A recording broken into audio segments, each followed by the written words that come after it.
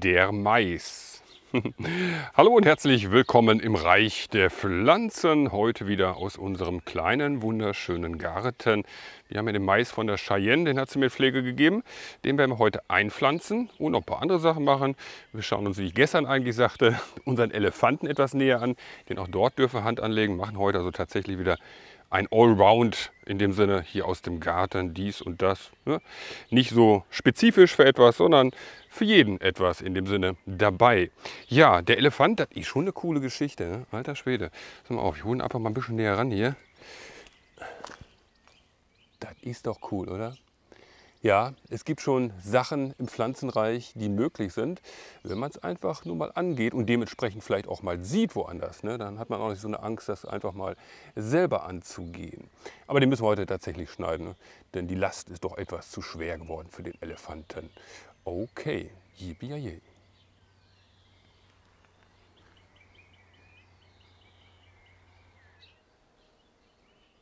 Da der Mais sehr groß wird und wirklich ordentlich Wurzeln macht, kommt er jetzt hier ins Hochbeet rein bei unseren Bäumchen, weil hier ist noch Platz und ich wüsste jetzt auch nicht, was ich hier sonst reinpflanzen soll. Und von daher kommt der Mais jetzt hier rein. Und er bekommt dementsprechend auch Futter, weil Mais ist ein Starkzehrer. Der leidet sehr schnell, wenn er zu wenig Nährstoffe bekommt. Von daher setzen wir den jetzt auch mittig hier einfach rein. Da habe ich damals mal das ganze Kraut, was ich hier rausgezogen habe, einfach hingeschmissen. Und er durfte hier trocknen und verrotten in dem Sinne. So, wenn ein recht tiefes Loch machen, denn, wie gesagt, wir werden ihn jetzt gleich direkt mit versorgen, um ihn ordentlich wachsen zu lassen. Das ist also ganz wichtig. Und auch hier gibt es natürlich wieder verschiedene Möglichkeiten. Rein theoretisch könnten wir auch mit Flüssigdünger andüngen oder in dem Sinne angießen und etwas versorgen, die Pflanzen. Wenn sie richtig reinwachsen, da holen sie sich alles von alleine. Weil hier ist ausreichend drin, das sieht man auch an den Bäumen, die hier wachsen. Die Eichen sind richtig kräftig, auch hier unser Lampionbaum, das ist auch die Kastanien, alle kräftig grün. Also eigentlich ist genug drin, aber beim Mais, der braucht ein bisschen mehr. Das ist tatsächlich so. Pass mal auf, nehmen wir einfach mal Biodünger dieses Mal, weil wir ihn halt noch haben. Und packen da unten mal ins Loch ein bisschen was rein. Ich nehme jetzt einfach mal die Hände, sollte man eigentlich nicht machen. Ist aber jetzt ein bisschen einfach, einfach eine Handvoll unten rein. Und dann mische ich das Ganze mit der Erde, die hier unten drin ist. So dass die Wurzeln, wenn sie reinwachsen, hier nicht direkt in den Dünger reinwachsen, weil das wäre auch nicht so der Burner. Ne? Richtig schön mischen und dann können wir die Pflanze jetzt das heißt die, es sind ja dreierlei in dem Sinne, ne? Drei. So, puh, das muffelt aber gut. Alter Schwede, der ist nur Naturdünger, ne? Das ist halt so gegeben. Also die Wurzeln sehen gut aus, definitiv. Ne? Also von daher haben sie schon mal einen ganz guten Start. So, ein bisschen Erde drauf hier wieder. Wie gesagt, dass die Wurzeln nicht direkt am Dünger liegen, das ist nicht so gut. Die sollen hier reinwachsen und sich dann die Nährstoffe holen. So, siehst du wohl, da haben wir den Platz hier auch genutzt ordentlich. Und haben hinterher auch mal ein anderes Bild dann in dem Sinne hier in den Hochbeeten. Ne? Da hast du verschiedene Höhen, das ist immer ganz gut. Wenn hier ein bisschen Kraut drin wächst, ist nicht so wild, das macht dem Mais gar nichts. So, yippie Jetzt noch, weiß Bescheid, angießen, ganz klarer Fall. Und auch kräftig angießen. Ja, Mais ist schon eine coole Sache, hatten wir ja schon mal gehabt. Ne? Also die Meerschweinchen werden sich auf jeden Fall freuen dann. Wobei die auch die Blätter fressen aber dann dementsprechend auch mal die Mais kommen. Wobei Meerschweinchen dürfen nicht viel Mais essen. Das ist nämlich Mastfutter und das ist nicht so gut für die Meerschweinchen. Darf man auch nicht vergessen. Okay, yippie Erstmal ein bisschen hinsetzen, genießen und ausruhen.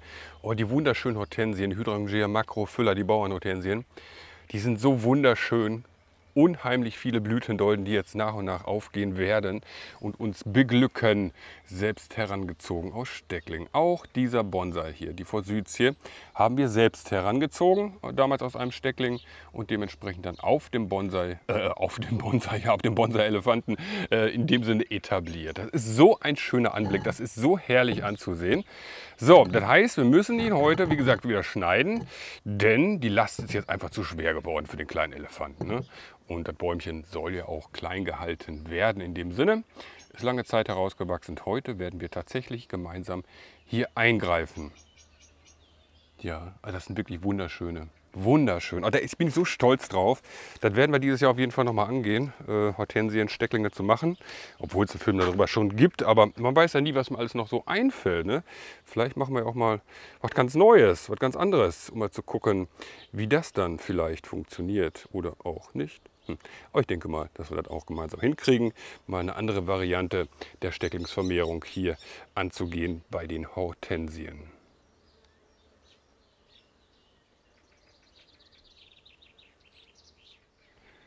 Es ist so muckelig warm. Am Wochenende soll es wieder Regen und Gewitter geben. Das wäre natürlich optimal. Ne? Also, er ist wunderschön wieder herausgewachsen. Ich drehe das mal kurz ein bisschen. Moment, ich zeige es mal so. Hier wächst jetzt ein Trieb vom Kopf entfernt in die Richtung. Das möchte ich nicht. Das soll hier frei bleiben vorne, dass man also den Elefanten noch sehen kann im Prinzip. Ne? Und den Ast, den werden wir jetzt komplett entfernen, nicht zurückschneiden, sondern der kommt komplett weg hier. Der soll da auch nicht mehr austreiben. Ähm, wir hatten schon mal einen Rückschnitt hier gemacht. Wir werden jetzt das Ganze ja, so weit zurückschneiden auf ein bis zwei Augen im Prinzip. Also dort, wo ein Blatt noch ist, dass das Ganze da wieder rauswachsen kann. Aussortieren selber, zur Gestaltung her, machen wir dann später dementsprechend. Es sei denn, mir fällt jetzt etwas ganz Besonderes auf, wo ich sage, oh, das muss jetzt unbedingt weg. So wie den einen, den wir gerade weggenommen haben hier. Ansonsten aber pinzieren wir das Ganze im Prinzip. Ne? Also, ja, es ist schon ein Rückschnitt. Pinzieren ist das ja nicht mehr. Ne? Ja, damit wir ihn halt klein halten. Ne? Wie gesagt, also gestalterisch kann man später eingreifen noch. Das ist nicht so das Problem. Soweit ist das jetzt schon mal okay. So, jetzt haben wir hier einen wunderschön kräftigen Trieb. Den setzen wir auch auf ein Blattpaar im Prinzip zurück. So, das war schon fast. Einen haben wir noch hier, diesen. Äh, da bin ich gerade überlegen, ob ich den noch rüber wachsen lasse. Ja, aber nicht so langstielig. Also nehme ich hier zwei Blattpaare bis drei Blattpaare, dass er hier ein bisschen weiter rauskommt. Ja, fertig. Das war's. So einfach ist das. Ne? Ratzfatz wieder klein geschnitten. Aber es ist mir schon ganz wichtig, darauf zu achten, dass der Kopf hier frei bleibt. Ne? Und denke mal, das sieht natürlich schon mal richtig cool aus. Aber viel größer darf der auch nicht werden. Ne? Von daher müssen wir also spätestens im Frühjahr eingreifen und aussortieren. Vielleicht auch nochmal ins alte Holz zurückschneiden oder solche Sachen. Aber das machen wir jetzt nicht. Jetzt darf er erstmal wieder herauswachsen. Ja, jetzt hat er nicht mehr so eine große Last auf der Schulter. Unser Elefant. Ach, der ist so hübsch.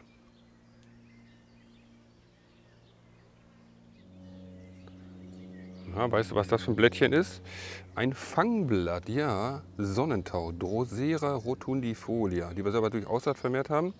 Dort sitzt auf dem Blatt eine kleine Blattlaus. Ja, interessanterweise bei den Karnivoren, die werden von den Blattläusen überfallen. Ne? Und äh, die können sich auch nicht dagegen wehren, interessanterweise.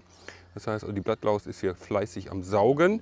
Jetzt muss ich, also ich denke mal, dass es ein Blattlaus ist. Ne? Das ist so klein, das Ding, das kann man kaum sehen.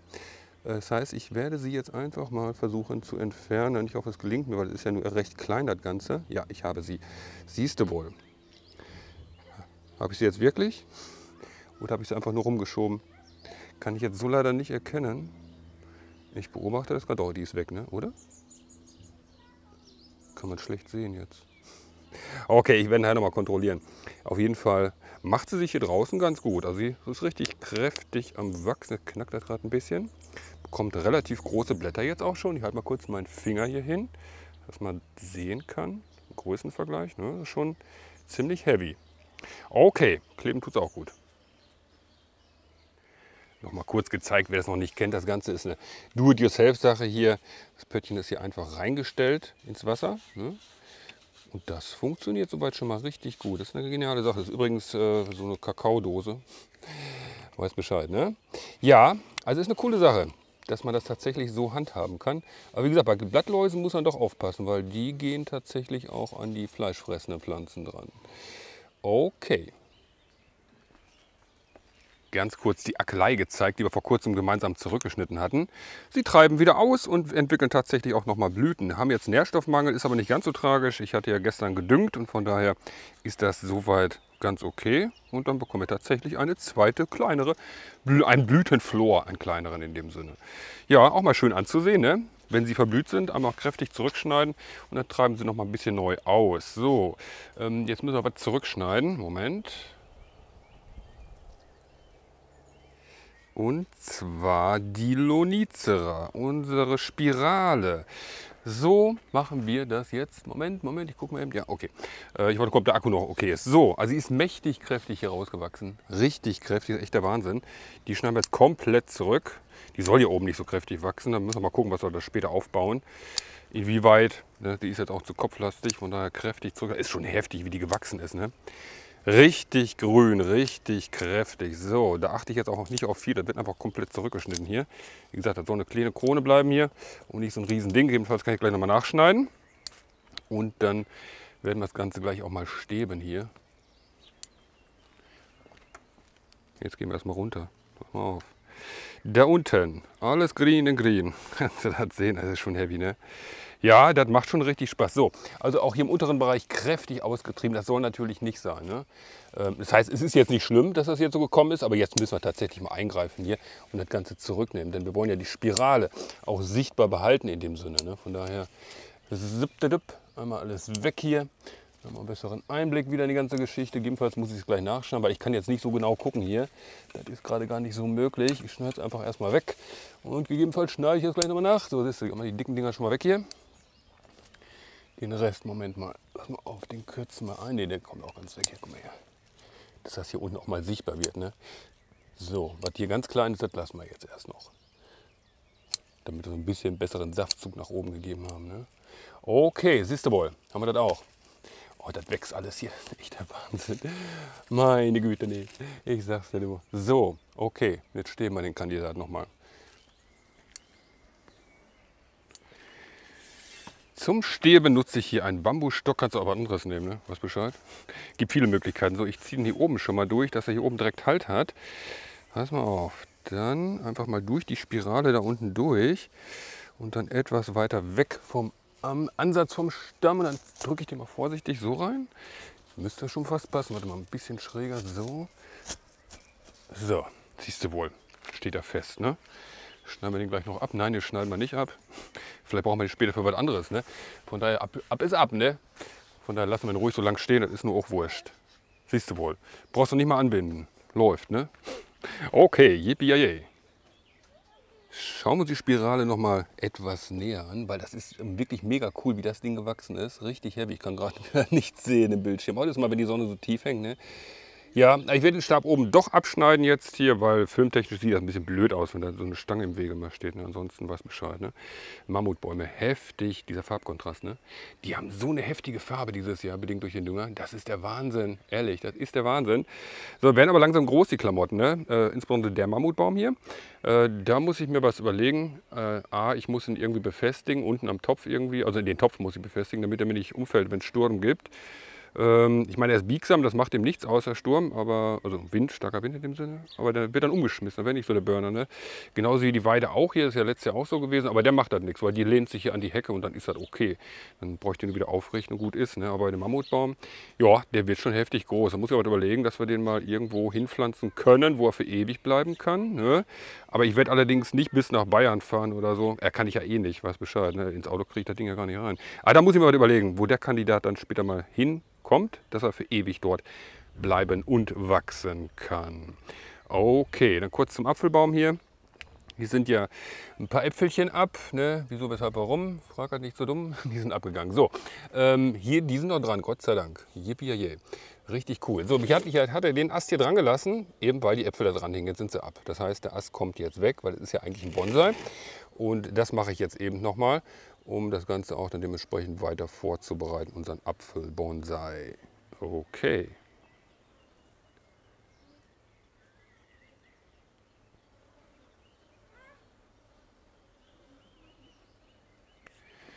Mein ganzer Stolz, unser Apfelbonsai. Ich habe gestern gedüngt gehabt. Ne? Äh, ich habe heute Morgen schon gegossen gehabt. Das Wasser ist schon wieder weg im Untersetzer. Der schluckt Wasser, das ist echt der Wahnsinn. Äh, ich gieße mal eben hier reines Wasser rein, also in dem Sinne jetzt hier Regenwasser und werde gleich mal nachmessen, was hier noch drin ist. Also der, ich, da muss ich echt aufpassen bei dem hier. Der Schluck, das ist echt der, das ist der Hammer. Alter Falter, das ist eine richtige Schluckeule. So, kann ich das gleich mal nachmessen, was wir hier noch drin haben. Einfach nur so, just for fun, um das begleiten zu können. So, jetzt haben wir hier einen Neuaustrieb, der ist richtig kräftig gewachsen. Den werden wir auf jeden Fall schon mal zurücknehmen. Das machen wir also auch fortlaufend im Jahr, ne? damit das Ganze nicht zu stark auswächst hier. Also oft haben wir jetzt ein, zwei, drei Blättchen dabei stehen lassen. So, kann man das jetzt sehen? Hier ist der große Ast. Mal auf, ich nehme mal eben hier die Felsenbirne ein bisschen zurück. Moment, Moment, bitte, Moment, bitte. Ich bin gerade am Filmen, jetzt wartest du. So, die Felsenbirne habe ich jetzt zurückgenommen, damit die nicht zu groß wird hier. So, jetzt haben wir den einen Ast, den wir haben herauswachsen lassen, weil er eben geblüht hat und auch Früchte trägt. Den muss ich jetzt zurücknehmen. Normalerweise würde ich ihn hier zurückschneiden, geht aber nicht, weil hier die Äpfelchen dranhängen. Das ist ein bisschen zu nah. Also werden wir das Ganze hier auf der Entfernung etwa zurücknehmen. Und da gucken wir im Frühjahr dann halt wassergestalterisch dann noch verändern daran. Ansonsten ist dann soweit ganz okay. Ist auch noch einer kräftig herausgewachsen. Auch den nehmen wir nochmal zurück hier damit die halt nicht zu stark wachsen. Ne? So, die anderen sind soweit noch okay. Das lassen wir noch rauswachsen. Hier kann man das sehen noch? Nee, kann man nicht. Oh, ich schiebe mal zurück. So, siehst du wohl. Den lassen wir noch rauswachsen hier. Das ist im Prinzip der Hauptast des Ganzen. Ne? Da können wir das später dann weiter gestalten oder dann halt zum Frühjahr hier dementsprechend zurücknehmen, je nachdem, wie man bei den Bäumchen noch eingreifen möchte. Also Rückschnitt beim Obstbaum kannst du eigentlich das ganze Jahr über machen, rein theoretisch. Okay. Ich hole mal eben die Linde, die wir vor kurzem, steht auch im Untersetzer, vor kurzem geschnitten hatten. Ich habe zwischendurch schon mal wieder so ein bisschen rumgespielt. Ne? Ja, das macht man so. Ne? Wenn es rauswächst, dann schnippelst du hier und da einfach mal was ab. Ja, so sieht sie aus, unsere Linde. Wunderschön gewachsen, richtig kräftig, kann man es eigentlich ganz sehen hier. Nicht so ganz, ne? Also gehen wir noch ein Stück zurück, vielleicht sieht man sie so ganz.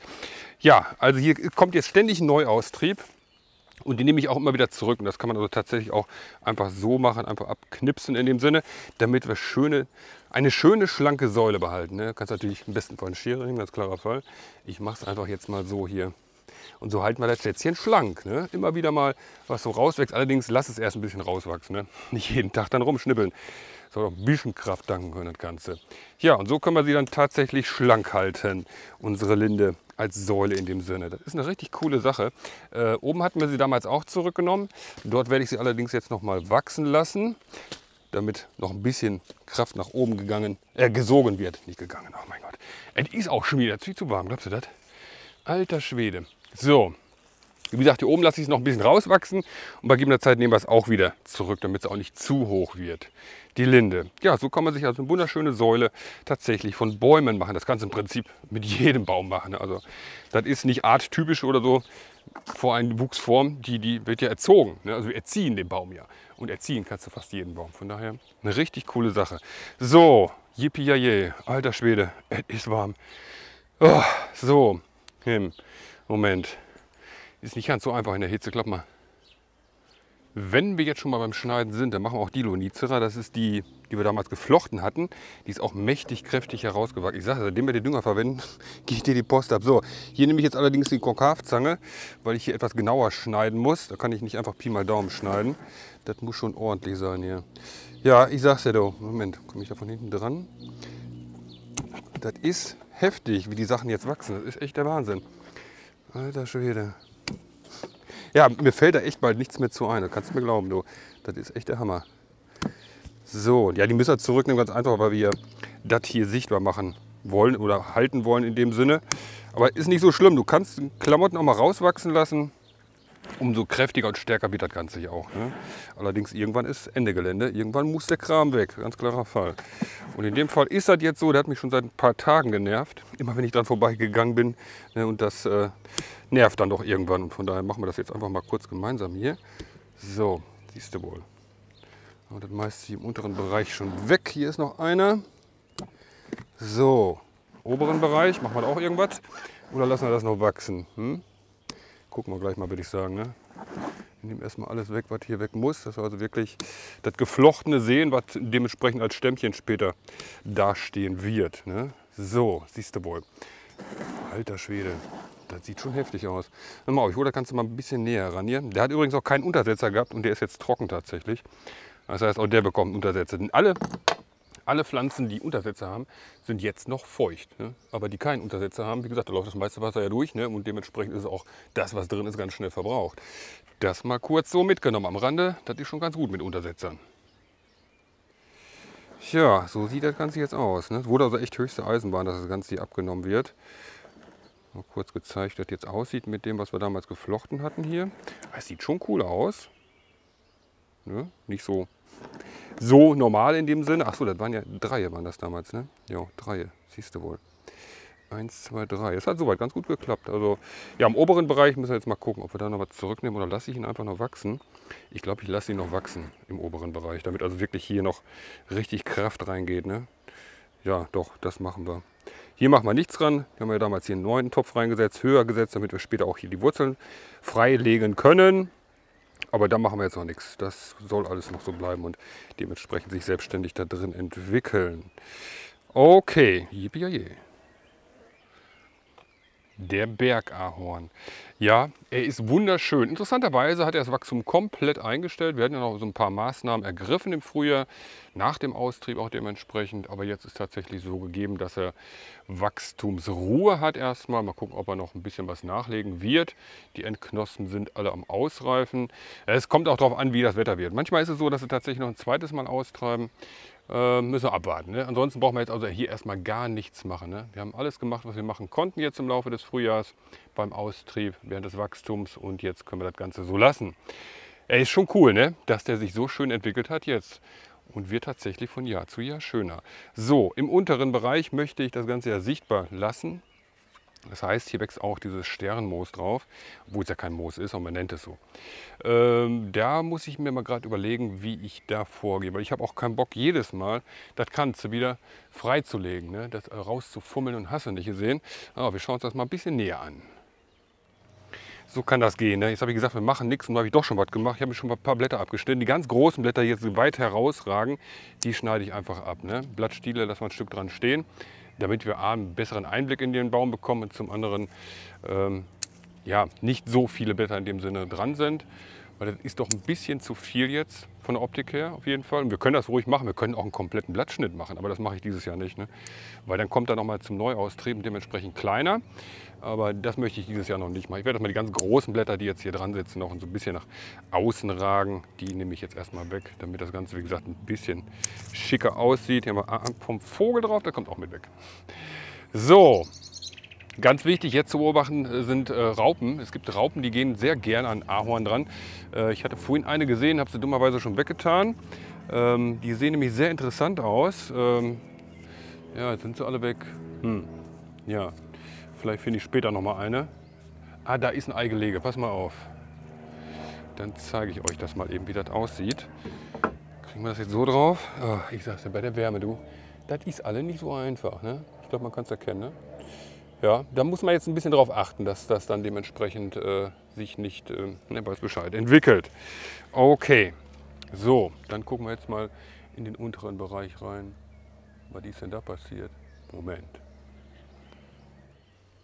Mal gucken, wir es jetzt drauf kriegen, dass wir mal den gesamten Nibari-Bereich, also Wurzelansatz sehen können. Ja, das sieht schon schick aus und das möchte ich, wie gesagt, sichtbar machen. Deswegen muss ich gucken, dass ich das Moos dort irgendwie wegbekomme. Pass mal auf, dann haben wir nämlich hier jetzt eine Schnittstelle, die habe ich damals mal abgedeckt mit Wundpaste und die Wundpaste ist weg.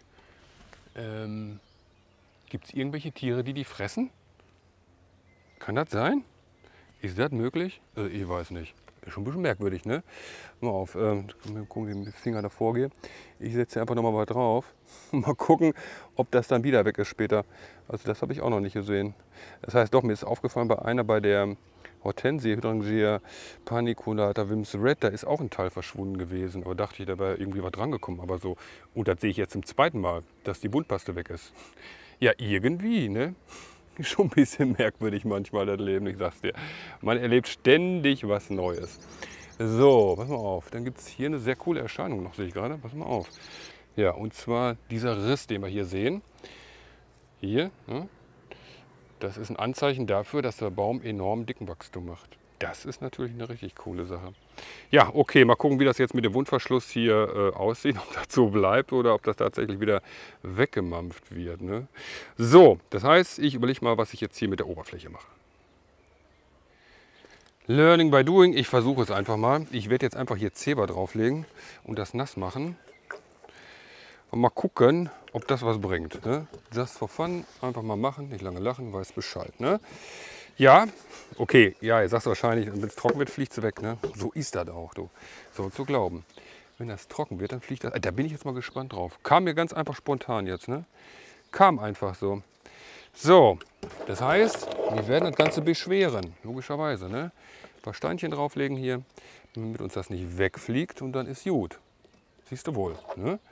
Einfach mal gucken, was dann jetzt so passiert. Ob das funktioniert. Was denkst du? Eins können wir heute noch machen und zwar Beikraut entfernen. das sind die Mammutbäume Metasequoia glyptostroboides. Die, weil es sind zwei, die haben wir damals, wer sich daran erinnert, geflochten, äh, nicht geflochten, halt ineinander, ineinander gedreht. Ne? So, da können wir jetzt mal rausnehmen langsam hier, bevor das Überhand nimmt. Aber du kannst doch ruhig erstmal wachsen lassen, ist gar nicht so schlimm. Gar nicht so schlimm. So, hier steckt noch was drin. Sehen wir gleich vielleicht. Eine Lunicera. Das ist nämlich diese hier. Das war damals ein langer Trieb. Und zwar solch einer hier.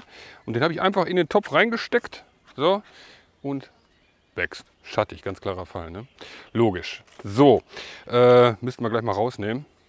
Was ich machen werde heute, wir hatten ihn hier angebunden, oh, das geht von alleine ab schon. Und das ist natürlich cool bei diesem ähm, Naturbass, dass er sich von alleine zersetzt mit der Zeit. Ne? So, das heißt, wir werden ihn wieder drehen. Das heißt, ich muss erstmal die ganzen starken Seitenäste entfernen, damit wir ihn ineinander drehen können wieder. Ne?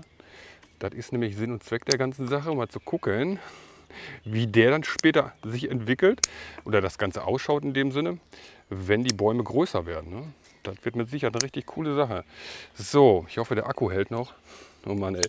Alter Schwede, ich sag's ja du. So, okay, das heißt, wir können sie jetzt weiter drehen ineinander.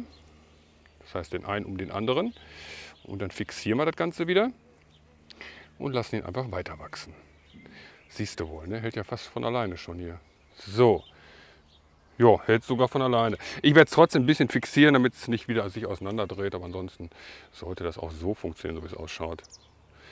Ja, das ist just for fun. Ne? Einfach mal machen, nicht lange lachen, weiß Bescheid. Er weiß, wie die beiden Schätzchen sich später mal gemeinsam hier entwickeln. Siehst du, nicht zu stramm ziehen. Fertig. Den müssten wir eigentlich mal raus, so mache ich heute aber nicht mehr. Und den Rest lassen wir jetzt wachsen. So, weiß Bescheid? Winke, winke. Bis ganz bald hier aus dem Reich der Pflanzen. Heute im Garten das eine und das andere Mal gesehen.